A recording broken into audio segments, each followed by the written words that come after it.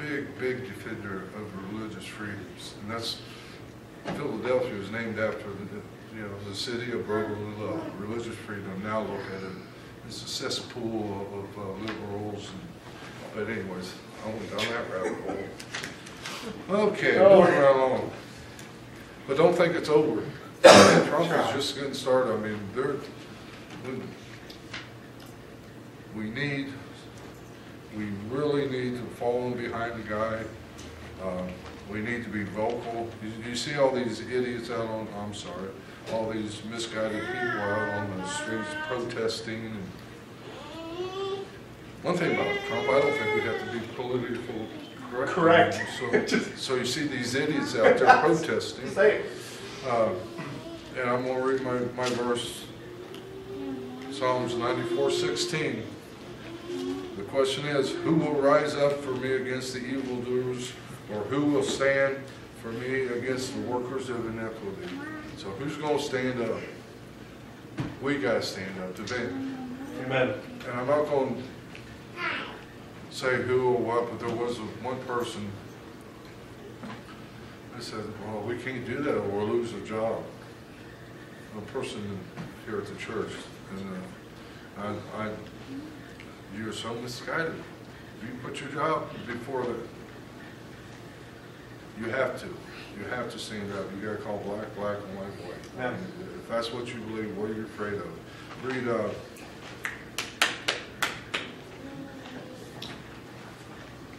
I know it's Corinthians.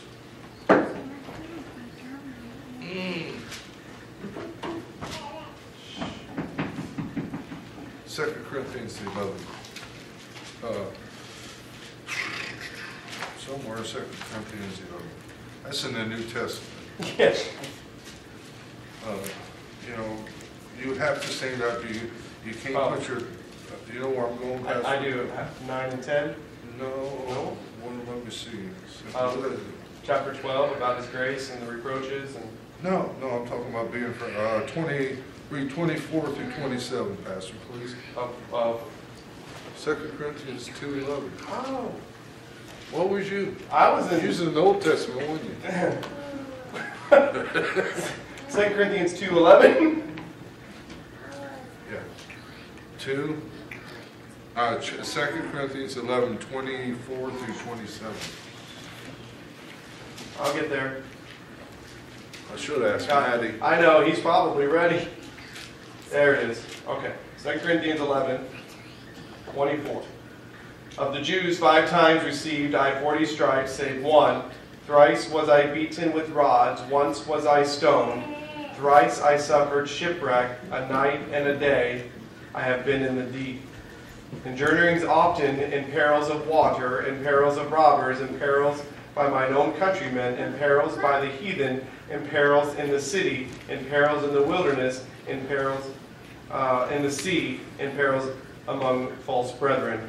In weariness and painfulness, in watchings often, in hunger and thirst, in fasting often, fastings often, in cold and nakedness. So what we gotta worry about? And where have we beaten forty times? We just had that in Sunday school too, forty. Okay, have we, you know, they had a, ru- even today in this world, people in Iraq and Iran, Syria, the Christians over there, they're getting beaten, they're getting beheaded, they're getting stoned. What, and we're, we're afraid to even say anything at work, we're afraid we'll lose our job. We're afraid, you know, someone might think different of us, you know. He's you know. What right do we have to be like that? Um, I don't know how I got off on that either. Anyways, uh, let's start about, about Trump. You gotta stand, you gotta stand, when he's wrong, write letters, say something, do something. I don't know, I I don't know what to do. Write a letter to Portland, Portland, Portland, Portland, whatever his name is. You know, just let them know. You gotta, you gotta be heard. Too long we sit back and look what happened. We come so close to losing everything. We Yeah. come so close, close. We don't wanna make the wave. We don't wanna make waves. And it's scary. It's really scary. Because, you know, I heard on the news, Obama, Obama's gonna stay in Washington, DC, after, the first president that's ever done that.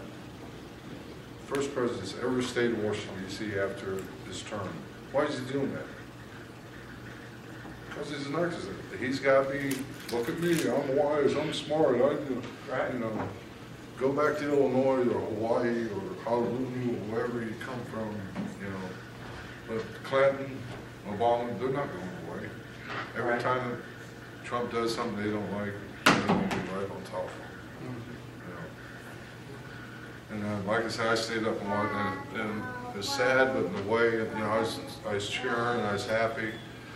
Funniest thing I saw was that, uh, one dude, Krakow, or is that his name? I call him Skeletor, he's bald, he's got glasses on him. That guy looked like his eyeballs were gonna pop out, and little springs would be, you know. That guy was having trouble. Very liberal Democrat, anyhow.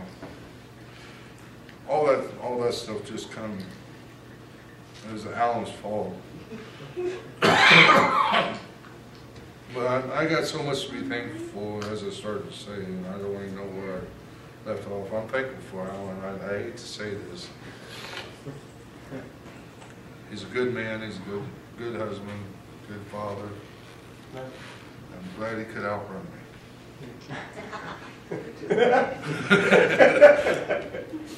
No, Alan, Alan, I- with all seriousness, I mean, I, I watch him with the kids out here and at his house. and very good man, and I'm glad to have you as my son.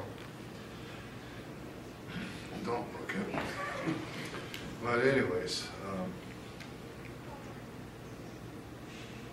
I just wish my boys, and that's my fault. That's another day. Um, What I was gonna talk about, I'll go into a little bit, I don't know how long I've been up, it seemed like I've been up there for a couple days, but, um, I got laid off in July. And I asked and told the pastor about it. I don't, I don't think I asked for prayer. And that Sunday morning, he, he started talking, and, you know, he's gonna pray for, I'm back there saying, oh, you know, I'm one to be laid off, don't, don't pray. you know. I blew it for him. And, uh, I love me. I love it. you know, I didn't ask for prayer, I'm, I'm happy with, no, I, I, I called you on the phone. You did, you called me on the phone. Was Yeah. talking about, you know, Yep. I was on, that's actually almost an answer to prayer, because I've been looking for something. It's real hard to find another job when you got a job, you know? Oh, But, I'm sorry, I'm talking. okay. You had your chance. Uh, Now you made me forget where I was going with this. Oh, a- anyways, don't say nothing. Anyways, I got laid off in July and, um, a lot of prayer of what to do. um, And I went up to Mount Gilead there and was talking to a, a woman and she said, well, go down and talk to Eric down in the building D up at Job and Family Services. So I went down there and he said, yeah, we got uh, adult classes. I had a form that they gave me, I was laid off due to lack of funding. And so that qualifies you to be retrained. So I'm almost sixty years old, why are they gonna retrain an old dog like me? That don't matter. So said, well, he gave me a book and it had welding, a welding class of tri rivers. So I'm always wanted to learn how to weld, and it'd be kind of cool, hang a shingle out in your yard and work out your garage or whatever. So one thing led to another, I applied for a Pell Grant, I got the Pell Grant. Applied for WIA assistance, I got that. First I applied for unemployment, that's why I was doing the job payment, so I was applying for unemployment. Got my unemployment, uh, four hundred and something every two weeks, you know, then, uh, she told me to go talk to Eric, so I went down and talked to this guy and blah, blah. Anyhow, so I sign up for all this stuff, I get, I get into the class, and, uh, I don't, my employment, I forget how many, I think it's one year, it's like six to eight hundred dollars you can draw on unemployment over, it's either a year or twenty-six months, I can't remember. Anyhow, I signed up for it, I get into this class. It, I don't know if you all, any of you have ever been on unemployment, but it's kind of confusing. Everybody's got their own idea how you do something, most of them ain't right. But, uh, every two weeks I had this, either, um, I got applied for job, two jobs a week. And every two weeks you gotta report into the unemployment agency and they, blah, they put you down and you get paid. You know, if you don't do, if you don't get the two jobs a week, you don't get paid. So I signed up for the school and they sent me a letter saying things have changed, You- you're not required to, uh, to go, to go out and find, look for two jobs a week. You don't have that requirement, I was, cool. So about a week later, I got thinking, well, but I still gotta call in? So I run back up to the guy and elevator number, I don't know if any of you ever know, I, I, I get lost in those things, and they usually kick me off because I'm stupid, and I end up out here where I should. But anyway, so I go back up there, and they, uh, they said, uh, oh, no, you don't have to do anything. So, cool. Two weeks come by, I don't get a check. Bill. That's all right. Or maybe since everything's got to restart, three weeks went by, I didn't get a check. Hmm, That's odd. Four weeks went by, hmm, that's odd. Five weeks went by. I said, Okay. Okay, it's time to do something. So I go up there and a woman at the, up there at the D door, Job and Family Service said, oh, no, uh, you, uh, you don't get unemployment leave. Anyway, long story short, y'all remember Arlington? I worked down at the house two years ago, it'll two years this Christmas, Yeah. or this January. And uh, the agreement I made with Miss Nora was I, I wouldn't take any money until she sold the house. You know, and last year, you know, it's like, and I, I've never called and asked for money, because I don't think that's right. If, I- if you make an agreement, you should stick by it, you know? As long as you trust the person, you know, and I know Miss Nora, she, she wouldn't do me wrong with, uh, now I'm thinking, man, that's a good little hunk of cheese I should have coming. You know, maybe I'll give me my motorcycle back, you know, you. Well, the year comes and goes, and another six months comes and goes. And I get laid off, I start getting unemployment, I lose unemployment, I got three unemployment checks, roughly twelve hundred bucks, out of the sixty-eight hundred dollars. Lo and behold, I get a check in the mail from Miss Nora. Hmm. How much do you think that check was for? Fifty-six hundred dollars. Is the amount of money I need to carry me through this Amen. class through. Hmm. Hmm. who plans this stuff? Amen. You know, where's it come from? You know, so now Amen. I got, I got the money in the bank. I can give myself the same amount I got from, or would have got from unemployment. Hmm. And I got enough to give, yeah, God provides what you Amen. need, not necessarily what you want, I want that Harley real bad, but I need to put groceries in and light bill. Amen. So, That's what I'm thankful, I'm thankful I got a God that looks out for me. Amen. He knows what I need before I need it, when I need it, and how I need it. Amen. you know? And to me, that's just phenomenal. Amen. And the good news is yesterday I found out, I do get unemployment. God is I'm good. gonna God is good, God is great. Amen. And I do get unemployment. I had to fill out a form saying, explaining why I haven't applied for the last six, seven weeks. And they'll either approve it or disapprove it, and I'll get that money back, but either way, I'll start getting money from here forward. Amen. God is great. Amen. Does that mean I get hard? I don't know. Okay. Oh, my brother. Amen. Thank you. Well, I don't think you left anything here. here. I only knew a portion of that story, y'all. I didn't know that ending part. Thanks for keeping me in suspense on that. I mean, I knew about, again, I knew about you working for Nora and waiting for the whole house to sell. I just didn't know that it came. Well, praise God. And, and, and Brother Terry, let me just give a little bit of advice when you're filling out this new form of why you didn't do that for the last two weeks, don't say because the idiots at the office said I didn't have to. They might not look favorably to that. I went, I went up there Monday, and he goes, yeah, I'm not, here, give me that, she filled it out for me. Okay. Mr. Woods did come up, you. There you go. I'm Feeling pretty good about it. All right, amen. but God is, God is so good. That is such a blessing. And um,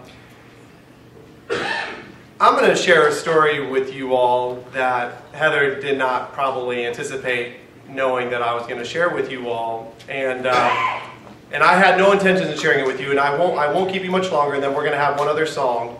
Um, but uh, this, if I can tell this one without emotion, there, it's going to be, I don't know how I'm going to do it. Um, I could, I could easily start off by talking about the absolute blessing that my, my family is to me. And, um, you know, I, I, I don't say enough how thankful I am for my wonderful wife and our amazing children. Um,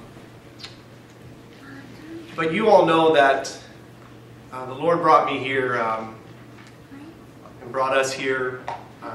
I say seven. I keep saying seven. It's our seventh winter. I go with seven because of that, but it's really six years ago in August. And um, and and one of the one of the questions, one of the few questions the church had for me um, was asked by Brother Terry, and this this part's not going to come as a surprise. You all have heard me say this before. Um, but one of the questions that Brother Terry asked um, during the questioning phase, if you will, there at Fredericktown, he knows the question, I think. He said, We're just going to be honest with you, or he said, At least I'm going to speak for myself. Not really looking for a pastor that's just planning on being here for two or three years, more or less. Where's your heart? I mean, are you here? Do you want to be here with us? Um, I hope you all know that I do by now. I, I hope that um, you know that my heart is in the right place, even when I'm not able to give you all that I want to give you as a pastor. And, um, you know, um, I hope you all know that. I've said in the past, so this part's still not a surprise either. Um, I've said in the past, we, we as a family have never felt more comfortable anywhere that the Lord has moved us in our life, and we have moved many different places as we are here in Ohio, and specifically in Mount Vernon, just a few uh, houses down from here. Never felt more comfortable um, in the pastorate than I do here. Um, we know that we have had some storms. We know that we've had ups and downs. some pretty far downs, right? some really high ups, and then just everything in between. Um, what I wanted to share with you is something that I don't think is going to catch any of you by surprise, and, and I hope that it doesn't.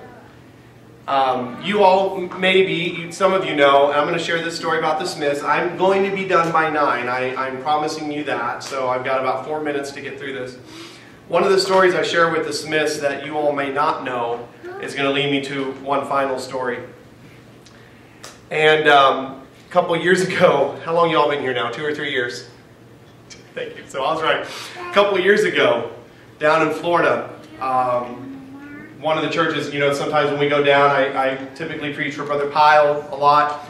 Um, and then some other churches, if I'm around, you know, for the conference for Brother Troy, um, the church in Melbourne there, they had asked um, asked me to come up. You all probably know that they were without a pastor, and uh, they just need, you know, had a void and asked me to come and fill the pulpit. Well, you also probably know, or if you don't know by now, they issued me a call to, to pastor just from that preaching. And um, I knew that that wasn't the pastor for me. I knew moving back to Florida wasn't, wasn't that two years ago you can probably turn most of this off. I'm just going to cry the rest of the way anyway. Um, but what some of you may not know, and the Lord is, you know, I, I, was I was totally involved and never for a second, I'm not telling you all of these stories for you all to think that forever for a second am I planning on leaving. But what, what a lot of you may not know is during that time, um, when that church was issuing me a call, um, brother Matt and sister Lori started attending. Attending. They weren't members by any means yet. They just started attending, and um, um, brother Matt and I, we had um, and sister Lori uh, a couple conversations at their house, a couple at my house, and a couple things about where the Lord would be leading them, and it was just beautiful and a beautiful part of my life and our life to say God is not through with us here, right? We knew that He wasn't, but then He sends things like that right? So Brother Terry, you get this check, and then he says, oh, guess what? Let me give you the, you know, the unemployment too. So those are just beautiful confirmations. Another beautiful confirmation that I have um, is nights like tonight, when I can sit back and I can reflect and I can sit there with my daughter and I can sit there knowing my family is here, knowing the conversations that we have, and knowing how much you all love us, me, our family in this church. About two, uh, about a month and a half ago, another church, y'all better, maybe I should stop going away to churches, right? So the church out in California had a pastor when I went. You all know that. Remember the, the church out there I preached a revival for? And then I later told you that Brother Prater uh, resigned the church. They also offered, you know, they said, would you all consider coming out here? You'll be full time and all these different things. I think you already know what my answer was, don't you? I'm not going. Yeah. Said I'm not going.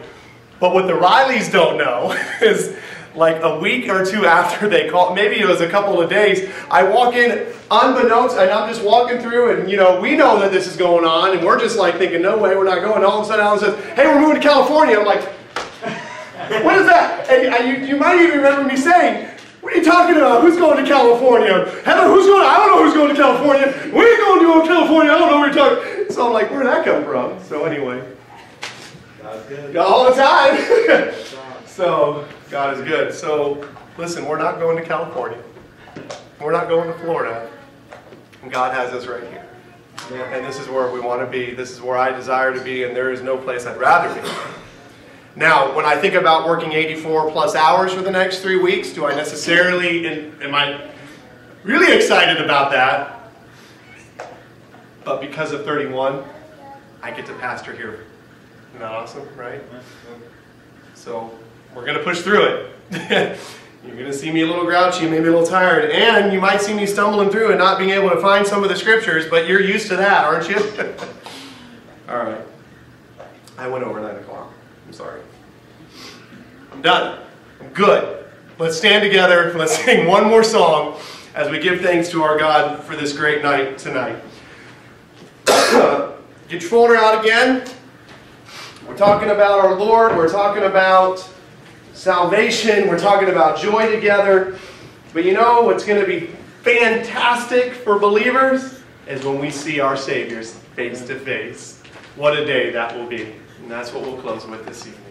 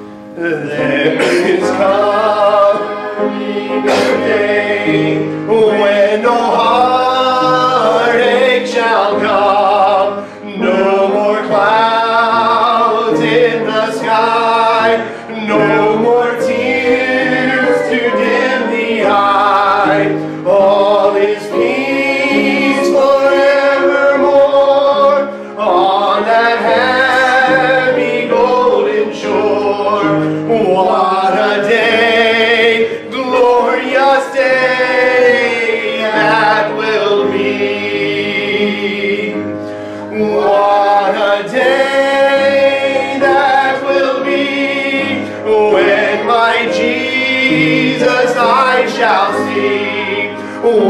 I look upon his be.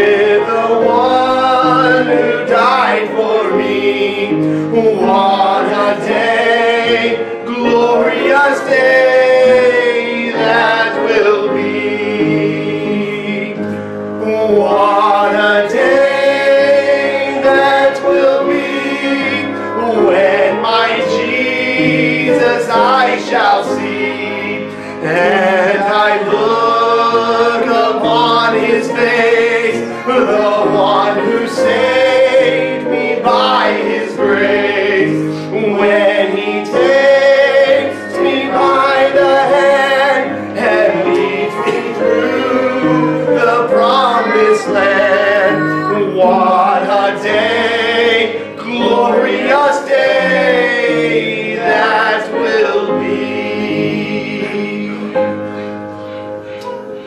Amen. I was thinking through the story right before we prayed, and I remember actually not even saying that the church called me, but remember I was over at y'all's house, and we kind of mentioned that even before I talked to the Smiths, and and uh, and then the Rileys even used some words. They said, "Well, to be something like who's pastor us," and now, of course, I never even said I was considering going. So all of those things always mean so much uh, to me and to us, our family. All right, let's look to our Lord now in a word of prayer, and um,